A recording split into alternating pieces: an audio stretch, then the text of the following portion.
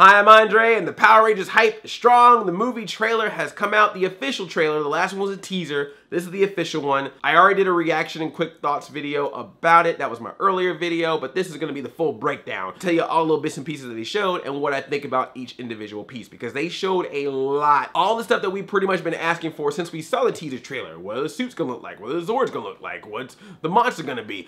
All of that is in this trailer. I'm breaking it down. Zordon. We got our very first look at Zordon in this movie. He reminds me of those toys. You remember those toys with like the little pins and you could stick your hand or anything in it and it would make the shape of whatever you stuck into it with the pins. And then sometimes if you were your head was small enough, you could try to stick your hand in it and make it look like your face. That's what Zordon kind of reminds me of in this trailer. But you know what? I like it. Looks like he's gonna be able to move across the wall in the command center. I thought that was a creative way to make it still kind of attached to that old school Zordon, but doing it in their way, doing it that would work for how it would look in a movie. I think that's a really cool Zordon, as opposed to just having him in one spot in a tube having him actually be able to move around the command center is a neat thing and it's a cool little effect and of course you got Bryan Cranston doing it and that just works I mean he just has a presence and a voice so I like him. Alpha 5 looks okay. I had a little bit of concerns about Alpha 5 when we saw those those images and those toys but in the trailer, he looks fine. This is again why I think seeing things in trailers are a lot better than seeing concept art or a lot better than seeing toys. Alpha 5 is Alpha 5. That's one I'm not gonna get worked up over. There's another character that I'm still, I still can't get over, but Alpha 5, I'm like, you know what? That's how he looks. Bill Hader's doing his voice or some comedic relief in this he's chill, he's cool, I can accept it. We also get a little bit more of the humor in this one. I know the last trailer was very dramatic. Some of the jokes work and some of them don't uh, because that's pretty much how Power Rangers humor is. Power Rangers humor is cheesy. Anyone is all like, I don't like the jokes in this thing. I'm like, have you ever heard the jokes in Power Rangers? My favorite joke in this thing is when they finally reveal what their colors are. They're in the water about to go to the command center, I suppose, and they're glowing in the color of what their suits are gonna be. Zach is glowing black and Billy is glowing blue. And so Zach just looks straight at Billy and just goes, I'm black. and Billy's like, what? and Zach just goes, I am. I thought it was funny because it was a funny joke. I thought it was funny because it was obviously making reference to the fact that the black guy was the Black Ranger in the original series. Zach was originally the Black Ranger, Walter Jones. They didn't do that for this movie, so they made a reference to it. When they can realize some of the silly things that they've done and make humor about it, make fun of themselves, kind of point and say, yeah, we did that, we silly. And I like that. If the movie can do that, I wish some of the fandom could do that the same way, but man, that was a cool joke. Now, the one about Trini, she tells her story of what happened to her, and then I guess her mom puts a cup down, a medical cup, and is like, pee in that cup. Okay, one, Trini broke the rules. You're not supposed to tell anybody your secret identity. You wrong for that, Trini. And two, uh, is her mom a nurse? I really hope her mom is a nurse or they're in a hospital kitchen because why do you have a random pee cup just around in your house? Like, is that something that you hold on to? Is Trini a bad person that you've constantly had to check her pee to make sure she wasn't doing drugs?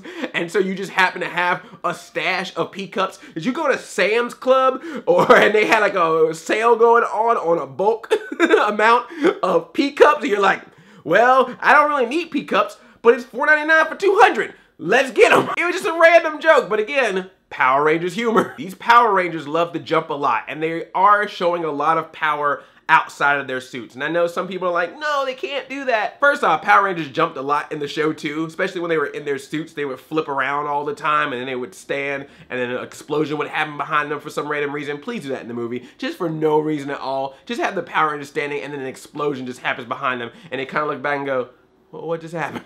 I need that. I'm personally fine with them being out of the suits and having the powers, although my concern, which I think is probably the concern of people who have this complaint, is this probably means we're not gonna get a lot of in-suit Power Ranger stuff till maybe later in the movie, like the second half, or maybe even the third act. But I think that's to be expected. This is gonna be origin story territory. But then again, over time in the Power Rangers series, the Power Rangers were able to fight the putties without being in their suits. And then when the monsters showed up, that's usually when they changed to the suit. So I'm guessing this is kind of a similar thing where they do have some powers. They're able to do strong things just as normal people, but I'm sure when Rita goes full attack with the monsters and the putties and everything like that, they're going to need to morph into those suits in order to really take on the battle. And speaking of morphing, we got to see the suits. We got to hear it's morphing time. It was said. The suits got put on. They got that slow-mo walk. It was like all the quintessential superhero stuff. You got the slow-mo walk coming out, getting ready to fight, all in a dark tent, so it looks all menacing. You got the superhero landing, all five of them did a superhero landing. You got them doing their punches and kicks because it's movies and you know, how dare you have a mask over your face. Looks like their helmets are gonna be able to open up from the front, so you will be able to see their face, but the rest of their helmet is still on. Interesting look. I kind of wish that they did something like that for the OG Power Rangers movie. It's morphin time. Now we'll go sit and drink some coffee while our stunt doubles do everything. Obviously, it's a way to show the cast members more and more, but you know what's nice about that is at least you do realize there's gonna be scenes where the cast will be in their Power Ranger suits. There will be stunt doubles, but at least there will be some scenes, some close-ups, or some cockpit scenes where you will see the actual Ranger cast in the actual suit, but now just, you know, opened up so you can see their face. That's different. God forbid this movie does something different. Except the one difference I can't stand, and that's Goldar. I'm sorry.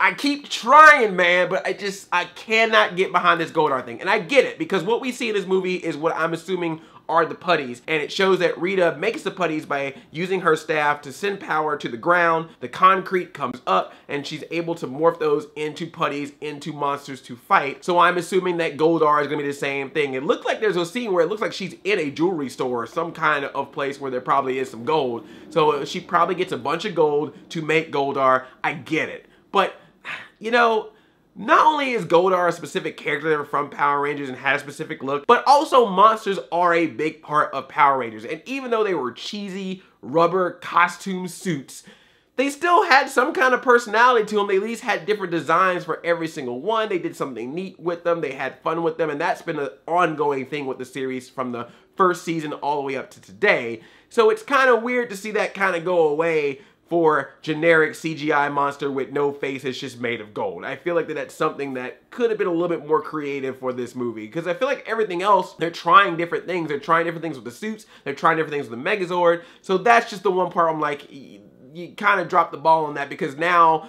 it's it's all about Rita. Like Rita is the villain and she looks great. I especially love the part where it looks like she's wearing a different color suit and then it turns into the green suit that we've been seeing her wear and her face has like, like all these veins in them and her eyes are turning green. Like all that stuff's awesome. Rita looks awesome in this. Different interpretation of Rita than from the show and I didn't know how to feel about it but the more and more I see her, the more and more I'm liking it. So I just wish that she would have had a monster that also gave me that same feeling. That like feeling of like, this is different, but I really like this because it's an interesting design. I'll be fine with it, but that I can't, oh, that's my only, that's my one biggest gripe about this movie is Goldar. Like all the other stuff, all the other changes I can deal with that Goldar is going to be tough, especially since that's going to obviously be the final act of this movie. But who knows? Maybe there's a different form of Goldar that we're not seeing because this was the large version of Goldar. Maybe there are other monsters in this movie. Maybe there's a certain someone that I would love to see in this movie, but they probably shouldn't show him if he is in this movie. And if he is in this movie, maybe he's a teaser. And if he is in this movie, don't show him.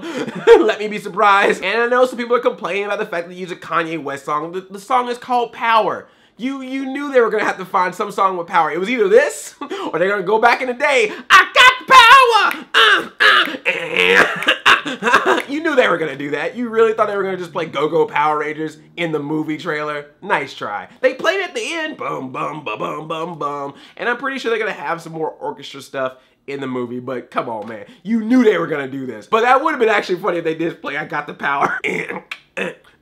I got the power, you break my heart, you break my heart night.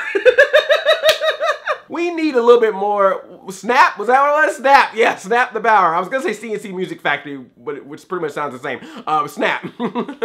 We need more snap in trailers. If deadpool did this trailer he would have put snap the power in there. We got that jason kimberly kiss again. Mm, oh but what about tommy and kimberly? Look if they decide to bring tommy into this somehow don't you think that makes for some interesting stuff if she's already up with Jason and then it's like, hold up, who's this new guy? That's called storytelling. Then we'll all have our t-shirts. Team Jason, Team Tommy. Come on, man, it's Lionsgate. You don't have to throw some Twilight stuff up in there. We are the people that gave you the Hunger Games. We'll do all this Power Ranger action stuff, but we need some kissy kiss or else this movie ain't getting made. what you gonna do, Saban?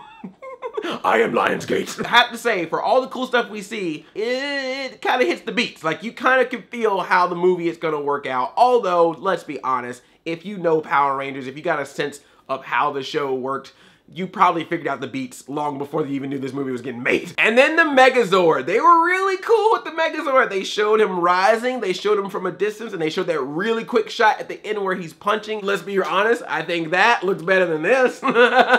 Paint this better. Obviously gonna be the final act in this movie. That's gonna be the climax is the big Megazord versus Goldar fight. I think it's fine. I just, I, I just, I know there are people who are concerned. I know there are the complaints, but I just don't know what you're comparing this to. This is Power Rangers with a budget, and I mean a solid budget. Like, I'm sorry. If you don't like this, that's fine, but I am sick and tired of the, oh, this looks like Max Steel. Are you serious? Max Steel had a $5 million budget and looked like crap from day one. Every trailer, TV spot, everything about it looked like crap looked like $5 million cheap crap. Look, I'm not a fan of the Transformers movies, but I will admit, them Transformers look awesome on the big screen. They do.